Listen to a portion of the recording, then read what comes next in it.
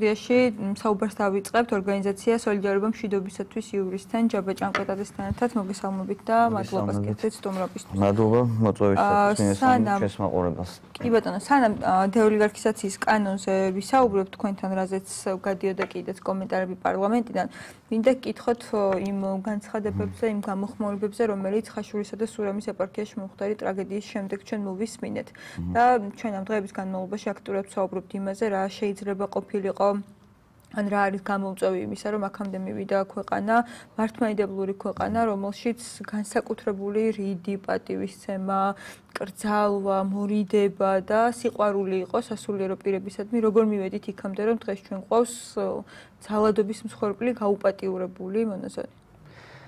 არ ვიცი ხა ამაზე რა კომენტარი უნდა გააკეთოს ადამიანმა? მსგავსი რამ ალბათ დიდი დამპყრობლების პერიოდში შორ წინა საუკუნეებში რავი ჩვენ ვიცით ხა ერთხელ აჯანყებარის გამოს დაიწყო ამ ქვეყანაში ისტორიული წყარო არსებობს ეს სასულიერო პირის ესე ვთქვათ დამცირება გახლავთ და ნუ იმის მერე მე ყოველ შემთხვევაში არც არსად წამიკითხოს და არც არსად გამიგია რო არ მოგანო ხა ეგ ყოველთვის შეიძლება დამყობით ომს ყოველთვის თან ახთა ეგეთი რაღაცა ომის პერიოდში მაგრამ როგორც ასეთი ფაქტი რო გაგვიყოს მე უბრალოდ ეხა იმდენად შეწუნებული, ამდენად გაუცებული და შეწუნებული ვარ ამამით, რომ ავი რანაირი შეფასება უნდა მიცე ხა.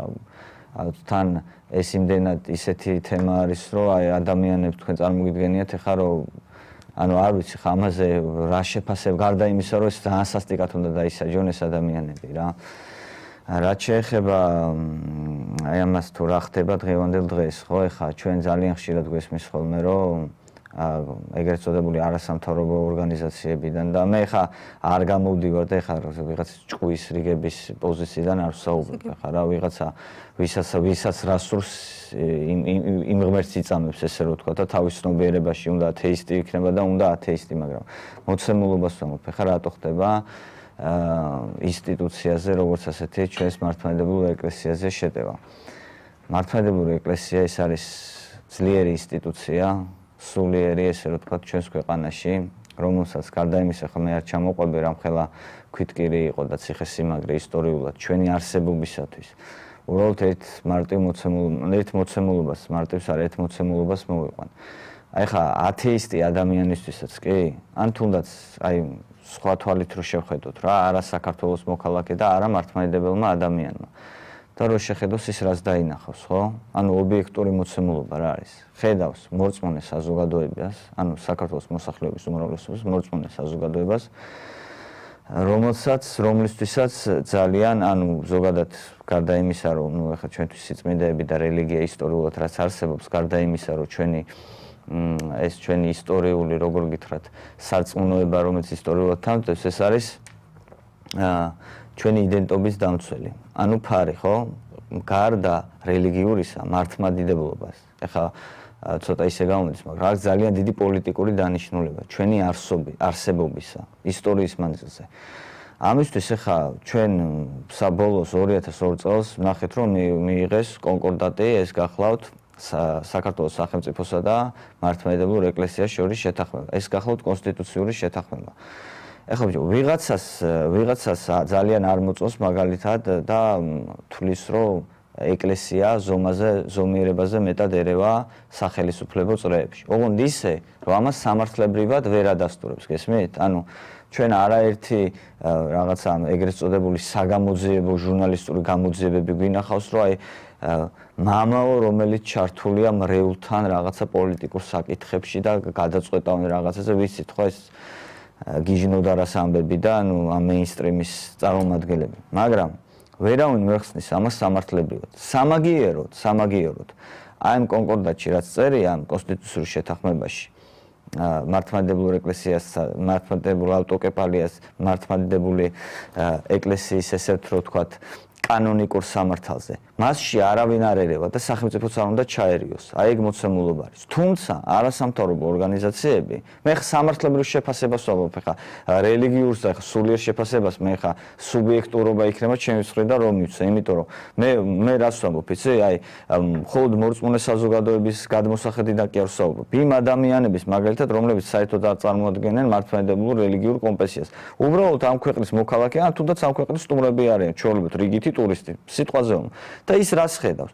ის ხედავს, რომ ჩარევა სამართლებრივი თვალსაზრისით წარმოუდგენელია, იმიტომ რომ ესე რომ ვთქვათ, ეს კონსტიტუციური შეთანხმება, ну, არ ვიცი ხა ამის ნაკლოვანებაზე ვინ რა ისაუბრა, ან ვინ რას თulis, მაგრამ რეალურად სამართლებრივი ჩარევა ვერ ვერ მოხდება და არც ხდება.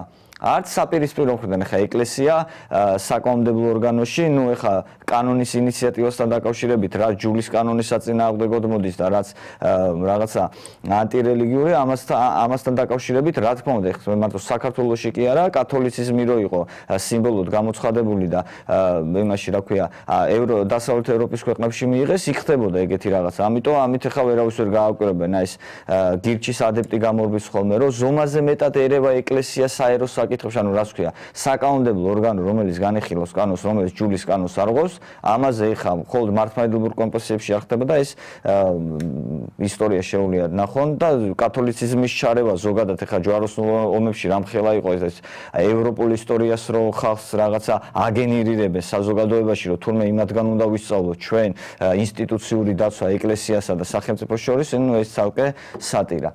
მაგრამ ჩვენ რო შევხედოთ ახლა ხედავთ არსებობს ერთი მოცემულობა. მართლმადიდებლურ ეკლესიას ყავს ძალიან დიდი მრევლი და პატრიარქი არის ყველაზე ავტორიტეტული ფიგურა ჩვენს ქვეყანაში. ეხლა მე რას ვამბობ, ეს ვინმეს მოწონს, არ მოწონს, ვიღაცა ეზიარება, არ ეზიარება, ვიღაცა მამაუჟიპი არ მოწონს, ვიღაცა რაღაცა აცკეტა წარმოიდგეს, ვიღაც იმას რა ქვია, ვიღაც რა პირობითად სასულიერო. ეს ეხლა ეს ამის განჯადობას ჩვენ არ ვახდეთ. ჩვენ ვახდებთ ობიექტურ, ჩვენ ესე ვთქვათ, ობიექტურ მოცემულობაზე ვსაუბრობთ. პატრიარქს აქვს ყველაზე დიდი მხარდაჭერა და ყველაზე დიდი ავტორიტეტი ჩვენს ქვეყანაში. ეს არაერთმა გამოკითხომ დაადასტურა. შესაბამისად, ეხა სასამართლო გინდა, აღმასრულებელი ორგანო გინდა თუ წარმომადგენლობითი ორგანო გინდა, ყველას გაუფასურება მოხდა.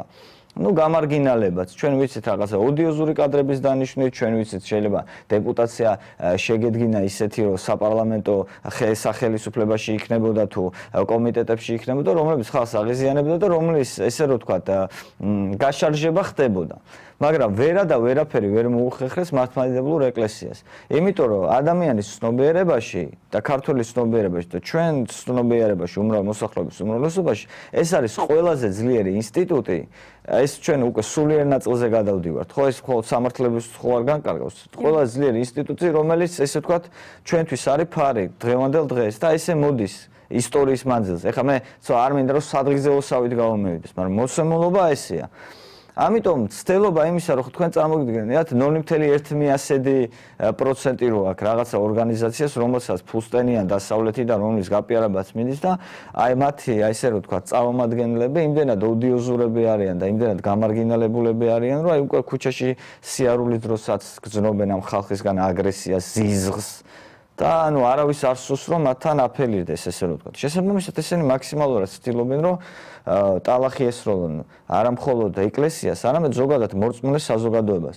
კიდევ ამბობ ხა მე არ დამდგარ ვარ აქ და ეხა არ დავიწყებ იმაზე საუბროს რომ ვის მეტად წამს და რომელი მღვდელმსახურია უფრო ჭეშმარიტი და ვინ უფრო რომელ იმეებში ეპარქიებში ხდება რაღაცა გადაცდომა თუ ასე შემდეგ და ასე შემდეგ. ყველა ადამიანს ღმერთმა მისცა გონება და ადამიანი ინდივიდუალურად განსაზღვრავს. ახლა მე მყავს ჩემი სულიერი მოძღვარი, მე მენდობი მას, ვიღაცა მონასტერში მიდის თუ ეკლესიაში, მაგას ახლა მე არ სულიერ ნაწილზე არ ვაკეთებ. მე ვაკეთებ იმაზე რომ მორწმუნე საზოგადოების რომლისთვისაც ავტორიტეტი კონკრეტული არის პატრიარქი, აი ამ ბალასტისთვის მიუღებელია. ეხლა თქვენ წარმოგიდგენიათ, რომ ჩვენ ვიცით, რომ დასავლეთი ახდენს პროპაგანდას მაგალითად ევროპული საქართველოსი.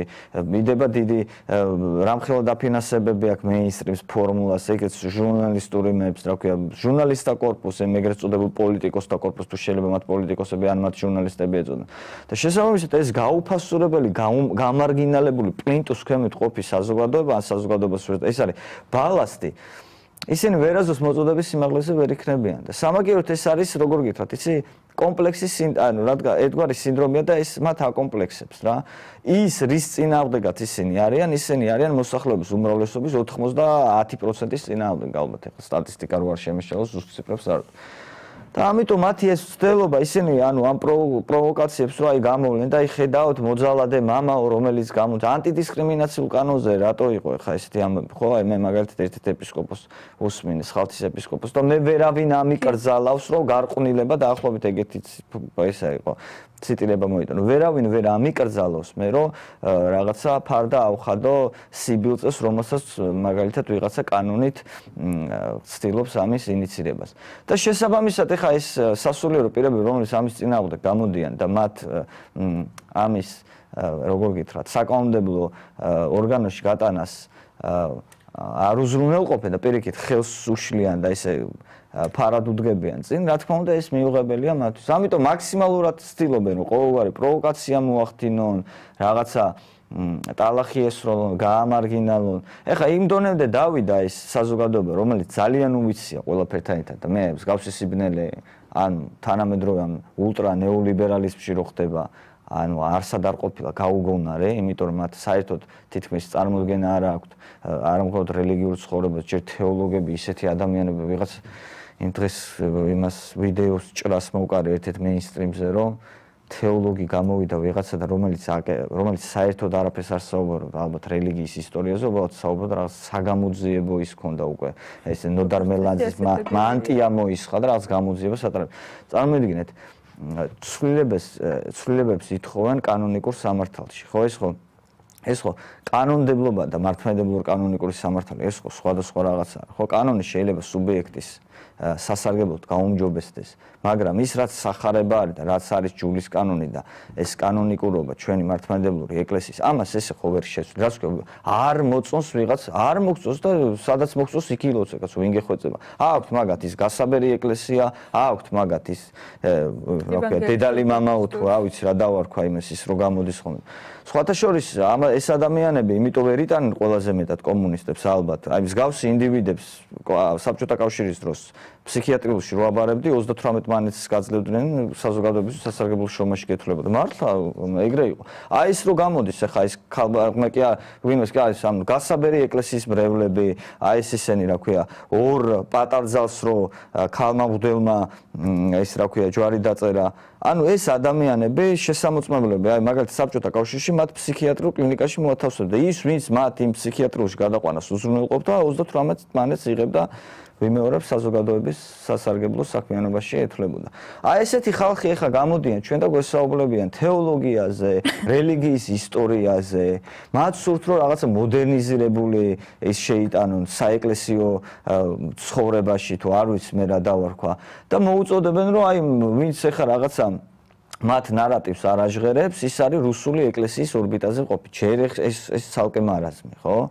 იმაზე რა ქვია აღდგომას ახლა მართმადიდებლური ეკლესია წითელკოს საგორებს სერბებიც რუსებიც ქართველებიც სირიაში ცხოვრები მართმადიდებლების პალესტინელებიც და ისინი ისავენ ამ მართმადიდებლურ კანონიკურ სამართალს რაც არის ნებისმიერ ქვეყანაში ეს მათ საქართველოსში და რუსეთშიც ეგრეა რაც ქვია ხა პროდასალური უნდა გახდეს თუ რუსული ეკლესიის გავლენის ქვეშ იქ ხო იერარქიებია ხო იმაზე ხო არ არის ახლა რა ქვია ეს რაღაცა ვიღაცის პოლიტიკური სურვილი, რომ აი მე რა ახალ წელს თუ აღნიშნავთ ჩვენ და ძველით ახალ წელს თუ აღნიშნავთ და რუსები ამ თარეში აღნიშნავენ ეს ეს იდიოტების კოხორტა რო გამოდის, ამ ილიაუნის თეოლოგ პროფესორები და თურმე რუსული ის ყოფილა შობის 7 იანვარს აღნიშნა.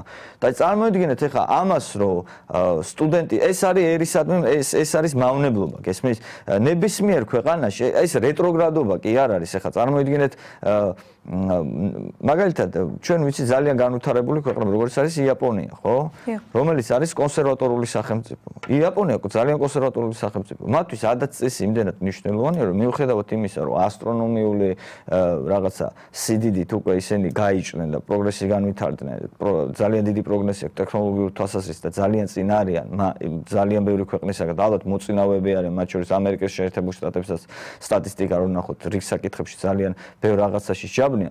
აი ესეთ ქვეყნებში აი მაგალითად ვერავინ ვერ ბედავს გავსი იდიოტობის იმას, რა ქვია, ინიცირებას. რომ რაიმე არასამთავრობო ორგანიზაცია ჩავიდეს და ეხა მათ ისტორიას რო შეურაცხყოფა მიაყენოს და საკანონმდებლო დონემდე დააყენოს, რომ მაგალითად იაპონიის წარმომადგენლობით ორგანოებს შეცვალოს, სადაც წესი ალბათ ვერ გამოასწრებენ იქიდან.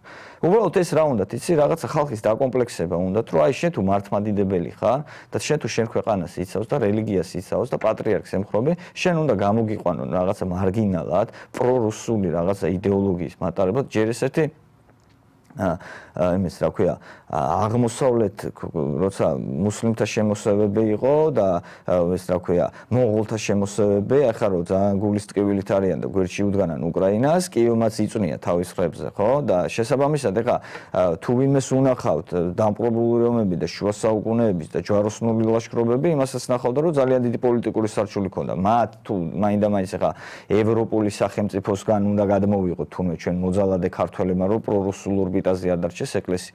ამიტომ ეს ყველაფერი ახლა მე უბრალოდ მე ვერ დავждები და რაღაცა რელიგიურ დონეზე მაგ წიაღსვით ვერ გავარჩევ, იმიტომ რომ ამის არც კომპეტენცია არ მაქვს და შესაბამისად ეს ჩემი საქმე არც არის.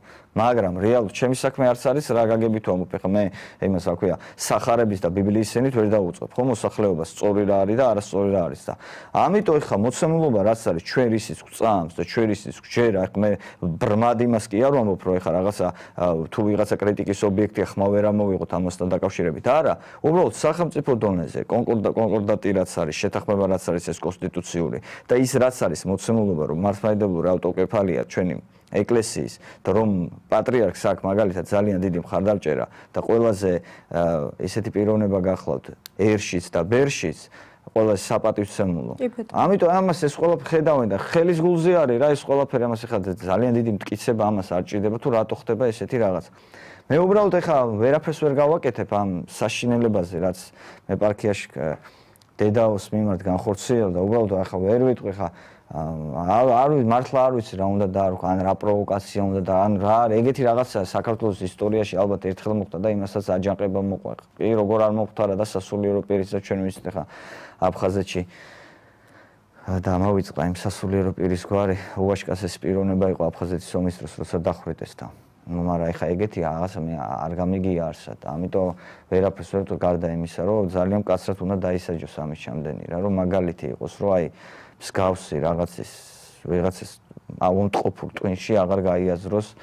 მსგავსმა ფაქტის აი რაღაცა პროვოკაცია იქნება თუ მისი გარყვნილი ბუნების რაღაც ფანტაზიის ნაყოფი რომ აი ფიქშივე ამოიშანთოს რა. მე არ ვიცი რა დავარქვა ამ უბედურებას. რაც შეეხება ამ ბრძოლას მართლმადიდებლების წინა მართლმადიდებლების ბრძოლა ბრძოლის ნაწილში მინდა რომ მკითხოთ ჩვენ ვნახეთ დეკანოზი ანდრია ჯაღმაიძის ვრცელი განცხადება რომელიც საკუთარ გვერდზე განათავსა.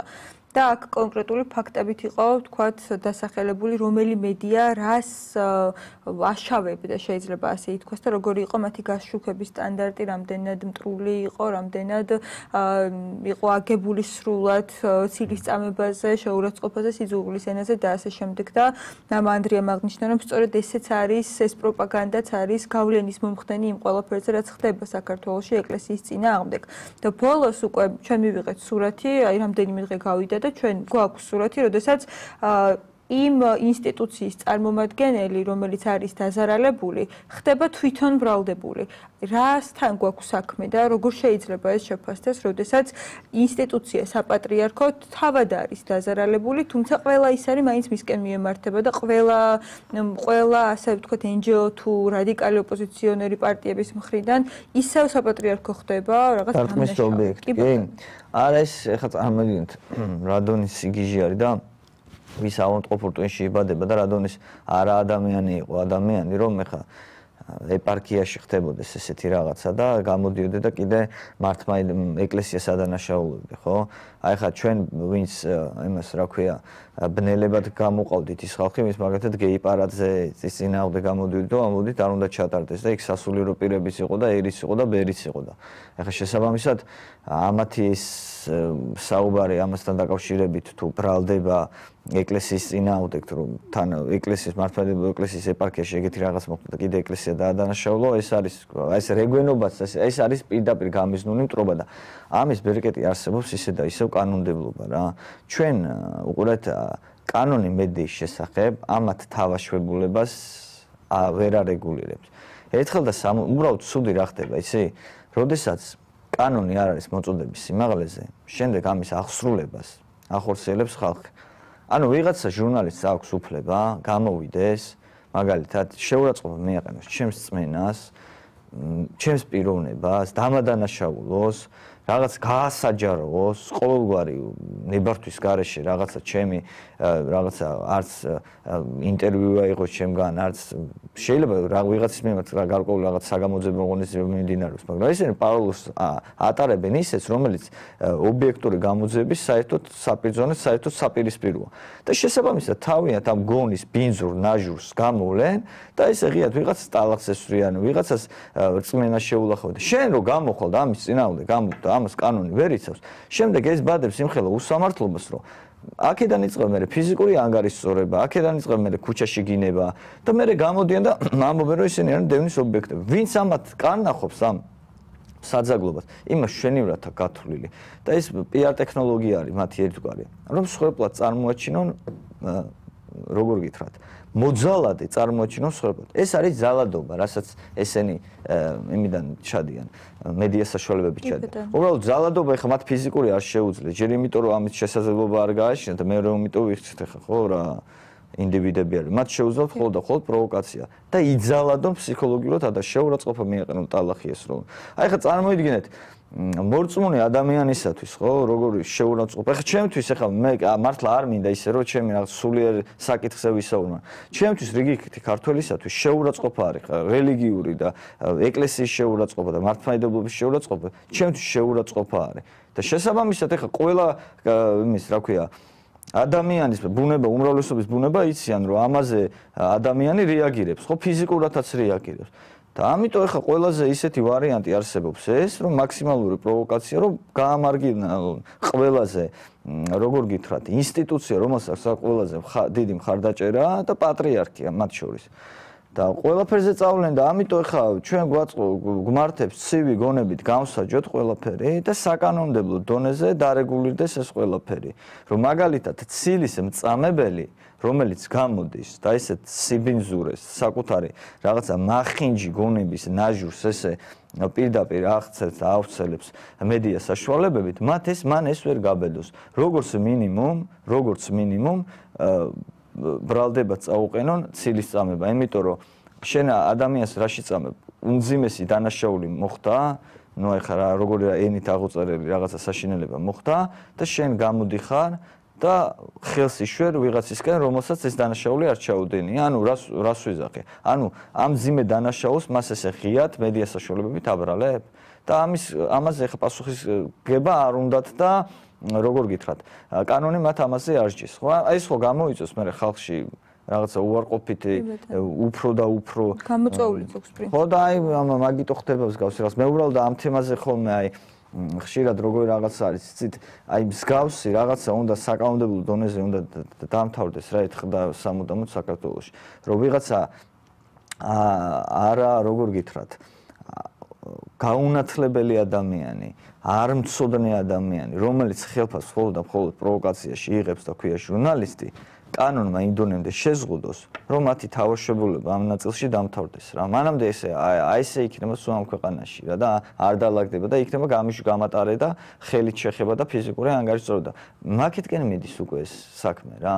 აი ხა შეურაცხყოფელი არის ხო შენთვის ქართველისთვის ვიღაცა გამოდის და ეხა პირადად შენთვის ეხა აი როგორ რაღაცა ეხა ვიღაცა ეკლესიას აგინებს დაცინის და შეურაცხყოფელია ხო შეიძლება ხა სუფრაზე მოხდეს და ფიზიკურად შეეხო ადამიანს რა ეგეთ რაღაცაზე კი ბატონო, მაგრამ ამიტომ ეხა, ანუ მე რას ვამობ, იცი? ანუ მე რას გეუბნებით ეხა, ფიზიკურად შეიძლება მოხდეს ეხა, შეიძლება შეთანხმდე და უთხრა ადამიანს, არ წამს, ხო, ღმერთი ათეისტია და ვისაუბრებთ რა ამ თემაზე რა ხა მე მორწმუნე ვარ შენ არა მე ხა სუფრაზე პირობითად ვამბობ ხა შეიძლება იქ მოხდეს რა რაღაცა გაესაუბრო ვიღაცა ვიღაცას ერთად მოხდა ისე რომ იმ ადამიანს არ წამდეს შეიძლება მაგრამ ისმა პროვოკაციამ გაგაღიზიანოს და გააფრთხილო მაგრამ მედია საშუალებებით ხდება ხო ხა რაღაცა რესტორანში ხო არ შედან ან რაღაც იმაში თავშეყრის ადგილას ხო არ არის ისეთ ადგილას რომ პირადად მიმართავ ადამიანს და ეტყვი რომ აი მოდი რა ნუ მოიქცევი ესე რა ან შეიძლება რაღაც ეპარქიას მიაყენო შეურაცხყოფა სადაც შენ ჩემი სულიერი მოძღვარია და ეტყვი და შეიძლება გაბრაზდე და უთხრა რომ ჩემი სულიერი მოძღვარია იქ ძალიან გთხოვ თავი შეიკავე.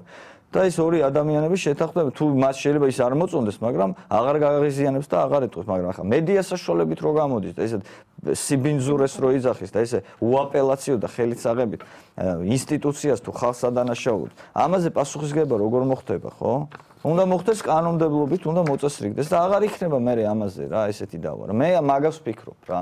აი ეს კონკორდატი და ეს საკონსტიტუციო შეთანხმებას რატომ მოხდა ხო? ეგ მართლმადიდებლო ეკლესიას და სახელმწიფოს შორის, რომ დაერეგულირებინა რა.